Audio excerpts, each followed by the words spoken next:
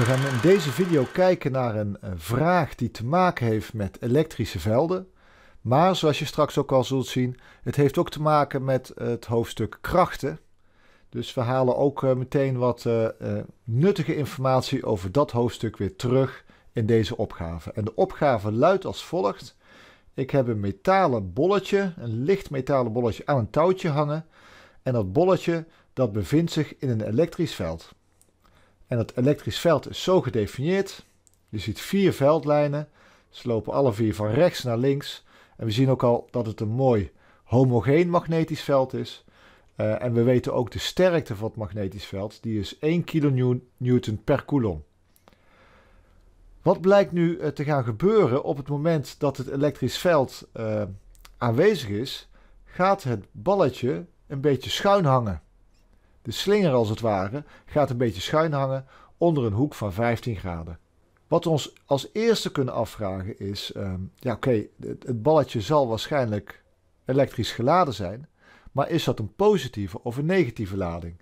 Nou, dan moet je even goed bedenken wat die elektrische veldlijnen ook weer aangeven. Ja, die lopen altijd van de positieve naar de negatieve kant. Dat betekent dat aan de rechterkant dat er zich een positieve plaat bevindt en aan de linkerkant van onze tekening een negatieve plaat. Omdat het balletje wordt aangetrokken door de rechterkant, kun je ook concluderen dat de lading van het balletje zelf blijkbaar negatief is. Want negatief en positief, dat trekt elkaar aan. Laten we eens even de vraag uh, stellen die we gaan uh, beantwoorden in de rest van deze video. De vraag is als volgt.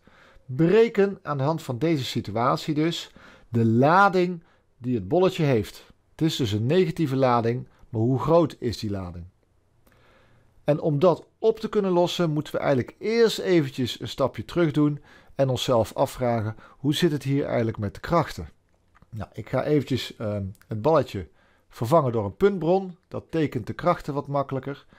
En ik bedenk me ook dat, uh, omdat ik weet hoe zwaar dat balletje is, namelijk uh, een kwart gram, dat ik ook kan uitrekenen hoe groot de zwaartekracht is die op dat balletje zal werken. En die zwaartekracht kan ik natuurlijk ook tekenen. Als je hem zo tekent, dan kun je natuurlijk jezelf afvragen: ja, oké, maar hoe ziet uh, het hele plaatje met de krachten er eigenlijk uit? En dan is het natuurlijk belangrijk dat je realiseert dat het balletje stil hangt. En op het moment dat een voorwerp stil hangt, weet je dat alle krachten samen op dat voorwerp samen nul zijn. Dat betekent dat er dus nog meerdere krachten moeten zijn. Eén of meerdere krachten. Maar die onbekende krachten moeten samen wel zorgen voor deze krachtpijl, die ik hier uh, in rood gestippeld heb getekend. De resulterende kracht van alle onbekende krachten die er nog zijn. Ja, waarom weet ik dat? Omdat die rode pijl precies even lang is, maar tegenovergesteld is aan de zwaartekracht. Ja, dan moet je heel even kijken naar de situatie. En dan uh, zie je dat er sprake moet zijn van een spankracht. Want dat balletje zit, zit natuurlijk aan een touwtje vast. De zwaartekracht trekt het balletje naar beneden, maar dat touwtje trekt het balletje naar boven toe. En die rode pijl die ik hier heb getekend is niets anders dan de y-component van die spankracht. En omdat ik uh, dat nu uh, weet, kan ik ook de spankracht zelf gaan tekenen, want ik heb een hulplijntje nodig. Een horizontaal hulplijntje. En uh, voilà, ik kan de spankracht tekenen. Ik weet natuurlijk dat de spankracht altijd in de richting staat van het touwtje. Uh, en ik kan hem dus ook uh, vrij makkelijk hier in mijn tekening een plaatsje geven, de spankracht. Maar als die spankracht een y-component heeft, dan heeft hij natuurlijk ook een x-component. En die kan ik ook tekenen. Weer met een hulplijntje, nu een verticaal lijntje. En ik kan uh, de x-component van de spankracht kan ik, uh, tekenen. Ja, wat moet er natuurlijk gelden voor uh, de krachten op dat bolletje? Alle krachten in de y-richting moeten samen nul zijn. Nou, dat klopt, dat heb ik nu al gerealiseerd. Maar alle krachten in de x-richting moeten samen ook nul zijn. En ik heb nu dus een x-component van de spankracht. Die moet dus opgeheven worden door nog een kracht. Eigenlijk de derde kracht die op het balletje werkt. Uh, en dat is de elektrische kracht. Want omdat het balletje geladen is en zich ook in een elektrisch veld bevindt, zal er ook een kracht op werken, een elektrische kracht op werken. En ik kan dus tekenen hier hoe groot die elektrische kracht is. Ik heb deze kennis wel nodig, uh, maar ik mag nu niet uit mijn tekening gaan uh, bepalen hoe groot die kracht is. Want de vraag was juist om het te berekenen. Dus ik ben nog niet helemaal klaar. Ik moet nu eens uh, wat gedetailleerd gaan kijken naar hoe zit het nu met die elektrische kracht en die zwaartekracht. Dus ik ga een beetje inzoomen op de onderste twee krachten. Nou, hier heb ik ze wat groter getekend. Kan ik nu uitrekenen hoe groot die elektrische kracht is? Dat lijkt misschien nu nog een beetje ver weg, maar als ik nu eventjes nog een extra hulplijntje teken en die elektrische krachtpeil beneden erbij teken, dan krijg ik ineens een driehoek.